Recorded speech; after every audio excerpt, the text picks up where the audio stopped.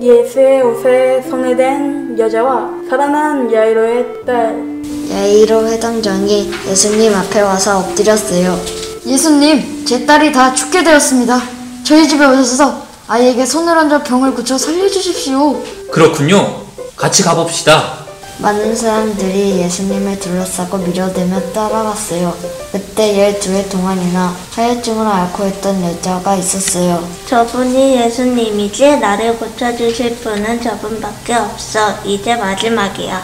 여자는 사람들을 따라가다가 뒤에서 예수님의 옷에 손을 대었습니다. 세상에 소문이 사실이었어. 내 몸이 나았어. 누가 내 옷에 손을 대었지요? 예수님은 사람들을 둘러보시며 옷에 손을 댄 여자를 찾으셨어요. 그대가 그랬군요. 괜찮은가요? 예수님 죄송합니다. 저는 12년 동안 앓고 있는 병을 고치려고 애썼지만 낫지 않았습니다. 마지막으로 예수님 옷자락이라도 만지면 나을 것 같아서 그런데 정말 제 몸이 나았습니다. 예수님 살려주셔서 감사합니다.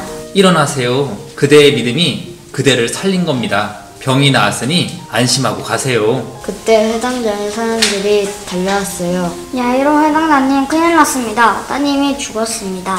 뭐? 우리 아이가? 아이고 예수님, 이 일을 어떡합니까? 슬픈 일이지만 이제 저 선생님께 더 폐를 끼쳐드릴 필요가 있을까요? 회당장님, 너무 걱정하지 말고 믿으세요. 나머지 사람들은 여기 있고 베드로, 야고보, 요한만 따라 들어오세요.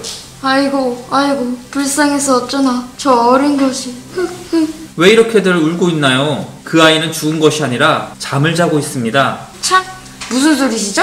자자, 아이의 부모만 남으시고 다른 사람들은 모두 이 방에서 나와주세요. 예수님께서 아이를 만나실 겁니다. 들어오지 마세요. 예수님은 아이의 부모와 세 제자만 데리고 아이가 누워 있는 방에 들어가셨어요. 아이의 손을 잡으셨어요. 탈리다 쿰, 소녀야, 어서 일어나야지. 세상에 여보, 우리 딸이 살아났어요.